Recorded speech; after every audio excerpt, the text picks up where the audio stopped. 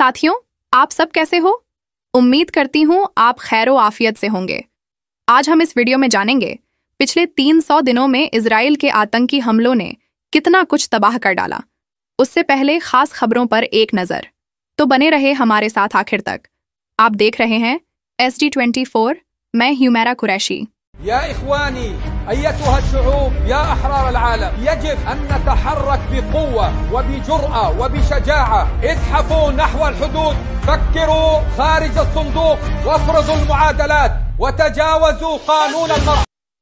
इस्माइल हनिये की मौत का खुलासा ईरानी खुफिया एजेंसी और सेना में मोसाद एक्टिव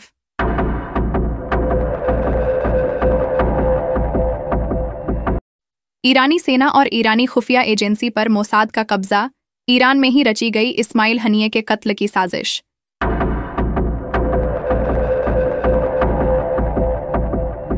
ईरानी खुफिया एजेंसी और सेना के 20 गद्दार गिरफ़्तार। मोसाद से कनेक्शन, इस्माइल हनिये को दावत देकर बुलाया। फिर मारा गया। तीन दिन में ईरान ने तीस बार इसराइल को धमकी दे डाली। इस बीच फिलिस्तीनी मुजाहिदीन ने डेढ़ सौ आईडीएफ सैनिकों को जहन्नुम रवाना कर डाला।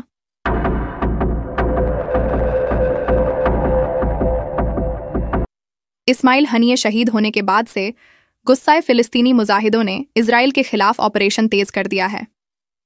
ईस्टर्न खान यूनिस, तेल अल हवा, तुलकारेम में आईडीएफ के तकरीबन डेढ़ सौ सैनिकों को जहन्नुम रसीद कर दिया है। दो सौ से ज़्यादा अपाहिज हुए पड़े हैं।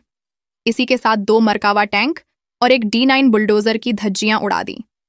इस बीच ईरान ने इसराइल को अब तक तीस बार धमकियाँ दे डाली। तीन दिन से ईरान बदला लेंगे बदला लेंगे जैसे बयान ही दे रहा है।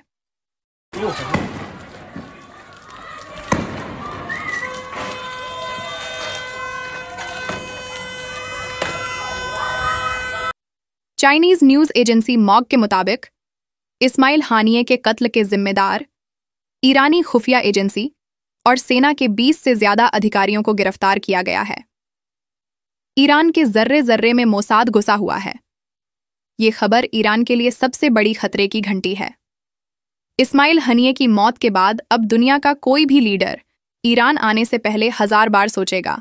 खैर, ईरान ने इसराइल के खिलाफ अब तक कोई ठोस कदम नहीं उठाया, सिवाय बयानबाजी के। वॉर एनालिस्ट्स के मुताबिक ईरान इस बार भी हाथ आया मौका गंवा देगा। अब जानते हैं पिछले 300 दिनों में इसरेक के फिलिस्तीन में नरसंहार का ब्यौरा। डॉक्टर अफजल हाशमी आदम चौगले, बहन रहमतुन्निसा, अनवर कुरैशी, मोहम्मद गफ्फार साहब समेत उन सभी मान्यवरों का शुक्रिया, जिन्होंने गजा इमरजेंसी रिलीफ के लिए छोटे बड़े अमाउंट भेजे हैं।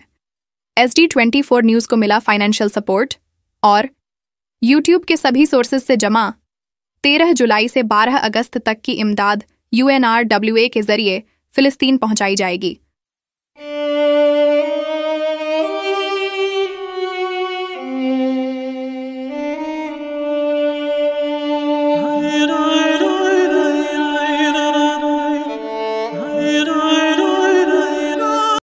गजा पर इजरायली हमले के 300 दिनों में 16,000 बच्चे शहीद हो गए। गजा पट्टी में गवर्नमेंट मीडिया ऑफ़िस ने गुरुवार को पिछले अक्टूबर से पट्टी पर चल रहे इजरायली अमानवीय युद्ध के दर्द भरे नतीजों का ऐलान किया है। कार्यालय ने एक प्रेस बयान में तस्दीक की है कि इजरायली हमलों में उनचास लोग शहीद हुए जिनमें सोलह हज़ार तीन सौ चौदह फिलिस्तीनी बच्चे भी शामिल थे। इसके अलावा इक्यानवे फिलिस्तीनी घायल हुए। जिनमें से लगभग सत्तर फ़ीसद महिलाएँ और बच्चे थे। बयान में बताया गया कि अमेरिकन सपोर्टेड इजरायली आक्रामकता ने दुनिया में सबसे खराब मानवीय आपदा पैदा की, क्योंकि इसराइल ने गजापट्टी के साउथ में रफा बॉर्डर को कंट्रोल करने के बाद बंद कर दिया, जिससे ह्यूमैनिटेरियन एड को पहुँचने में कई दिक्कतों का सामना करना पड़ा, नतीजतन तबाही का आंकड़ा बढ़ गया। अस्पतालों में इजरायली कायर सेना ने बनाई सात सामूहिक कब्रों को तलाश किया गया। जिसमें 520 शहीदों को बरामद किया गया। बयान में इशारा दिया गया है कि गजा में सत्रह हज़ार बच्चे लावारिस हो चुके हैं जबकि 3,500 बच्चे कुपोषण यानी मलन्यूट्रिशन अनाज और दवा की कमी की वजह से ज़िंदगी और मौत से लड़ रहे हैं। इतनी तबाही बर्बादी हाहाकार के बाद भी आधी से ज़्यादा दुनिया आज भी तमाशबीन बनी हुई है और लावारिसों कुपोषितों बेसहराओं के लिए अपने तीन दर्जन कर्मचारियों के शहीद होने के बाद भी सिर्फ़ अकेला यूएनआरडब्ल्यू ही डटा हुआ है, जिसमें पचहत्तर फ़ीसद गैर मुस्लिम शामिल है। हमसे जुड़े रहें, क्योंकि यह बड़े दाम वाला जियो पॉलिटिकल शतरंज का खेल अभी खत्म नहीं हुआ है। मिलते हैं ऐसे ही सटीक एनालिसिस समरी और अहम खबरों के साथ। तब तक के लिए फ़ी अमानिल्ला। आप देख रहे हैं social democratic news S D twenty four